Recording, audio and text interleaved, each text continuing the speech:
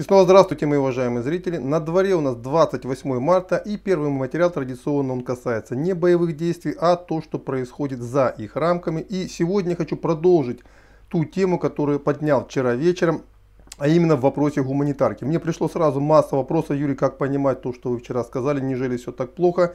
Ну, в целом, как я могу сказать, как я предполагаю, как я вижу ситуацию в ближайшие несколько месяцев. Скорее всего, Украина постепенно будет э, скатываться на уровень где-то Донбасса 14-15 годов. Ситуация в гуманитарном плане там будет идти примерно в этом русле. То есть люди, конечно, жить будут, выживать будут, но это будет именно выживание. Именно по этой причине, потому что я вижу, куда это все сегодня катится, я и призываю тех людей, у которых, у которых есть возможность покинуть эту территорию, хотя бы временно, либо, ну, я не понимаю, что, может быть, многие постоянно уедут, это сделать. Это не значит, что они там будут умирать с голоду. Но я не думаю, что это та жизнь, которая привлекает хоть кого бы то ни было. Просто я знаю, что творилось на Донбассе в 2014-2015 годах, и я не хочу, чтобы миллионы жителей людей испытали это на своей шкуре. Да, они выживут, да, приспособятся, но мне кажется, мой долг сообщить о том, что я вижу. А там уж каждый пусть сам принимает свое решение.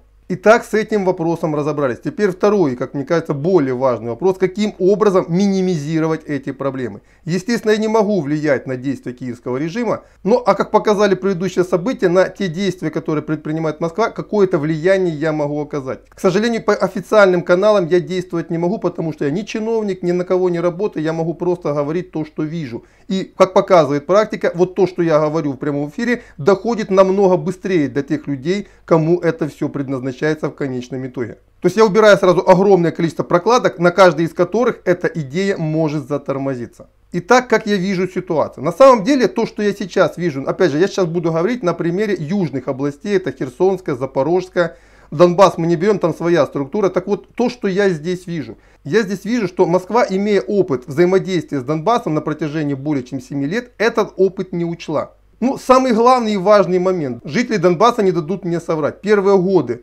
становления ДНР, ЛНР для них было с гуманитарной точки зрения форменный кошмар. Изменения в лучшую сторону, причем резкие, коренные изменения, произошли после того, как структуры Курченко были заменены на структуры Юрченко. Я делал когда-то материал на эту тему, и местные жители, да, действительно, мы сразу зажили совершенно новой жизни, намного более лучшей и перспективной, чем мы жили на протяжении многих лет. Так вот, вот эти самые, так называемые структуры Курченко сегодня привлечены для решения гуманитарных и экономических проблем освобожденных территорий юга Украины. Если кто-то надеется на то, что эти структуры могут как-то иначе, как они делали на Донбассе, решать проблемы, я вас спешу разочаровать. Первые шаги, которые я увидел, говорят о том, что по-другому они работать не могут. Если руководство России не хочет, чтобы население освобожденных территорий юга Украины начало их ненавидеть через полгода, этих людей отсюда надо убирать. Причем убирать уже вчера. И повторяю, есть же нормальный пример, который уже работает на территории ДНР, ЛНР. Ну неужели трудно, условно назовем, клонировать того же Юрченко, назначить нормальных бизнесменов из Российской Федерации, которые понимают толк в хозяйственной жизни региона, сложного региона, в котором надо восстанавливать нормальную экономическую деятельность. Ведь есть же подобный опыт, найдите этих людей. И они, опираясь на создаваемые и действительно создаваемые на местах военно-гражданской администрации, очень быстро смогут получить те же самые результаты, которые были получены на Донбассе в 2020-2021 годах. И это будет очень хорошо и в лучшую сторону контрастировать с тем хаосом и проблемами, которые будут очень быстро набирать обороты на остальной Украине. И тем самым мы привлечем огромное количество людей на свою сторону. И также еще раз хочу вернуться к той теме, которую я поднял дней 10 назад по поводу таможни. Вопрос в первую очередь стоит не в гуманитарной помощи. Вопрос стоит в том, чтобы создать такой правовой механизм на таможне. Не нужно писать жалоб в таможенные комитеты. Таможенники работают по инструкциям. Они ничего не нарушают. Они действуют согласно тех инструкций, которые они получили. Основной мысль, которую, к сожалению, многие из моих зрителей так и не поняли, она состоит в другом. Нужно создать новый правовой статус для тех территорий, которые освобождаются. Ну, например, пример, опять же, здесь тоже не нужно далеко ходить. Есть же пример того же Донбасса. Создать такой же правовой статус для этих территорий и таким образом позволить российским регионам налаживать нормальные экономические связи с освобожденными территориями Украины. И уверяюсь, я буквально вчера, позавчера имел несколько встреч с людьми, которые занимаются этим вопросом. Уже в ближайшие недели местные жители увидят существенную разницу с тем, что там происходит сегодня. Буквально за несколько недель можно убрать вот эти ажиотажный рост цен, уменьшить их гораздо даже на более низкие цены, чем они есть сегодня на остальной Украине, и люди, как говорится, к вам потянутся. И для того, чтобы это решить, в принципе, здесь нужно решение Государственной Думы Российской Федерации. И дальше, получив инструкции, таможня будет работать в нормальном тоже правовом режиме для новоосвобожденных территорий.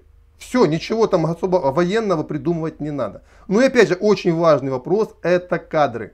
Управленческих кадров катастрофически не хватает, несмотря на то, что они усиленно быстро формируются, и это тоже факт. То есть на самом деле ничего катастрофического в данном вопросе не происходит. Но если мы сейчас не решим те проблемы, тем более, что эти проблемы уже очевидны, они были на Донбассе сегодня, то вот действительно через несколько недель может на этих территориях наступить очень тяжелое время. Причем, опять же, это будет не козни врагов. Это будут, к сожалению, наши с вами собственные ошибки. И вот именно для того, чтобы этих ошибок избежать, я и вчера, и ранее, и сегодня обращаюсь как могу. Давайте вместе быстро исправим эти ошибки, наладим нормальную жизнь в южных регионах Украины, которые освобождены от бандеровского режима, и тем самым эти регионы станут примером для остальной Украины. И мы таким образом выиграем не только войну на полях сражений, но и за умы украинцев. Вот это то, что я хотел донести в этом видеоматериале. Все, на этом у меня по этой теме на пока все. Следующий материал будет военная сводка. До свидания.